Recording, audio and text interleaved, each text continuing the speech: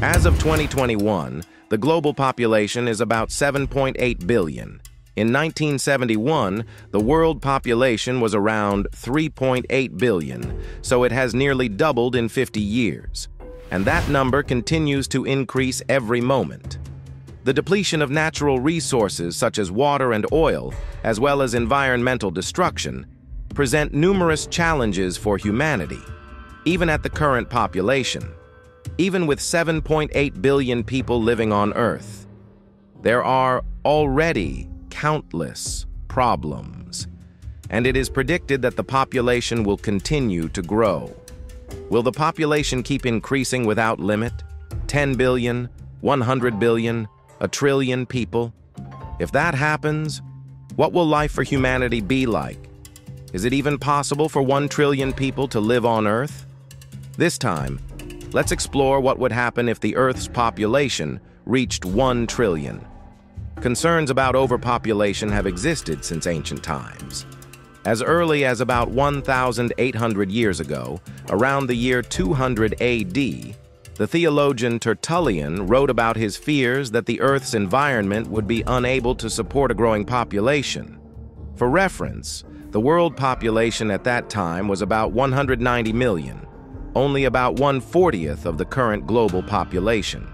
Despite the concerns of scholars at the time, except for the 14th century when the Black Death was rampant, the population has continued to increase.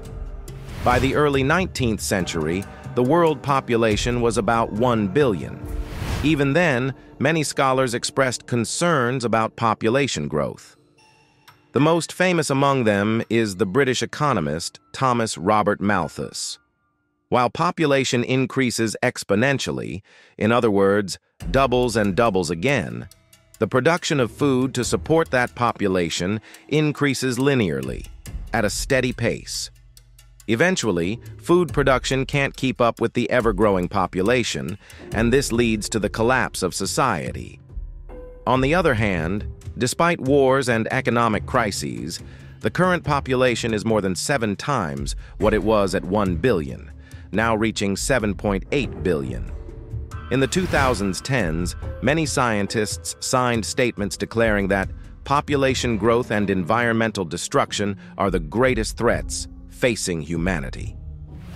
So, how will the population change in the future?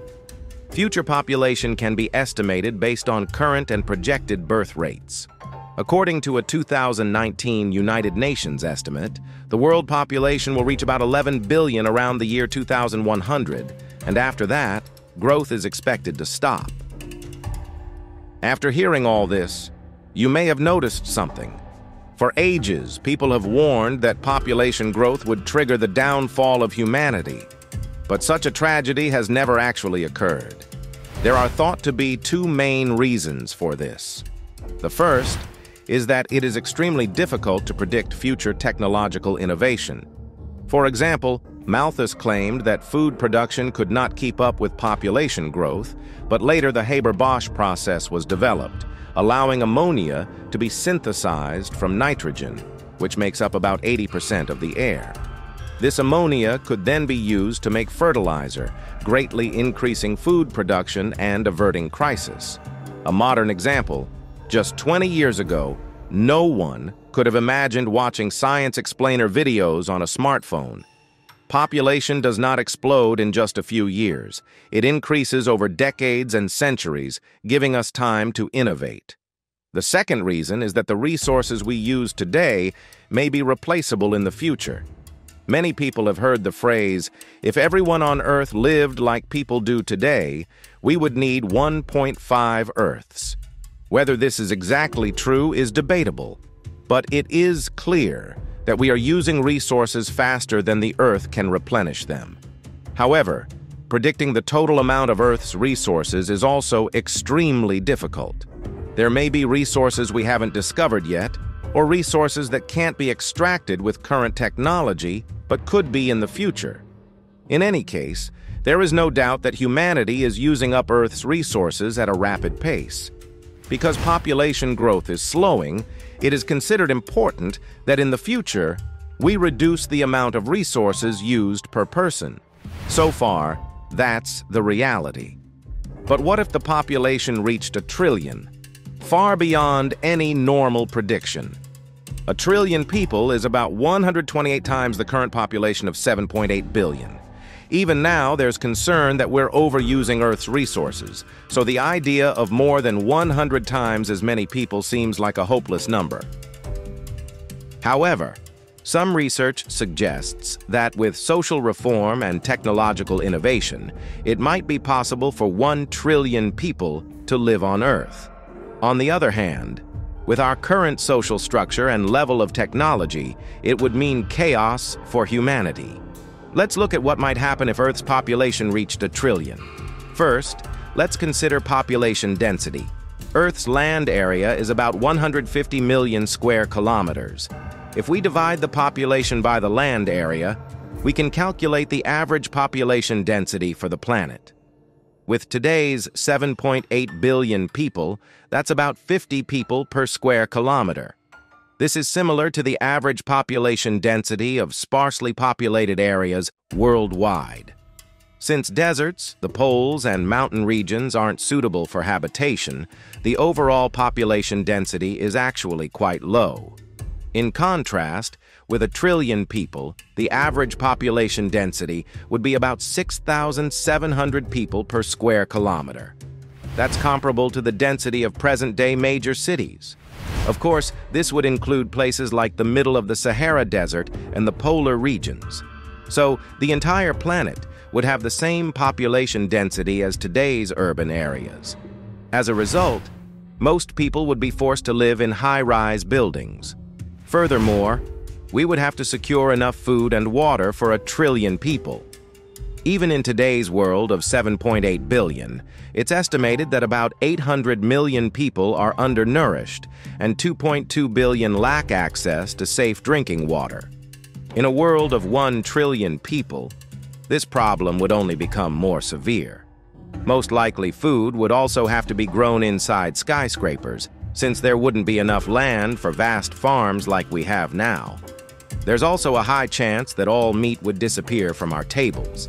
For example, producing one kilogram of beef requires 25 kilograms of grain and about 15,000 liters of water. With food and water already in short supply, humanity would not have the luxury of raising animals for meat. When it comes to animals, the environment would be extremely harsh for all life except humans. Even now, we are said to be in the midst of a mass extinction, with species disappearing at an alarming rate. Some say the rate of extinction is equal to or even greater than that of the mass extinction 65 million years ago that wiped out the dinosaurs. In a world of 1 trillion people, environmental destruction to make room for humans, overhunting for food, and global warming would likely cause even more species to go extinct than new ones could evolve. It's likely that insects would be among the few survivors. Additionally, we would need methods to obtain energy for humanity's daily life and to process waste products such as carbon dioxide. As previously discussed, relying on the sun or volcanoes to dispose of waste is not realistic. Not only would we need energy for 1 trillion people to live, but also to process all the waste they produce. The Earth's surface would likely be covered with solar power systems and other energy infrastructure. Even so, energy would need to be conserved as much as possible, and people would be forced to live in extremely cramped conditions. The scenery left on Earth would be endless high-rise buildings and power plants covering the land, with people living restricted lives inside those towers. With current technology, a world of one trillion people would be unimaginably inorganic. But this world doesn't have to be limited to Earth.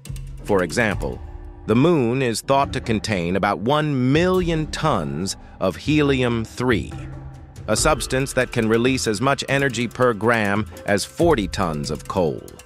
This is enough to supply all of Earth's energy needs for a year. Just as daring explorers once set sail across the seas in the Age of Discovery, there is no doubt that a great age of space exploration will come, with humanity venturing out into the vast universe.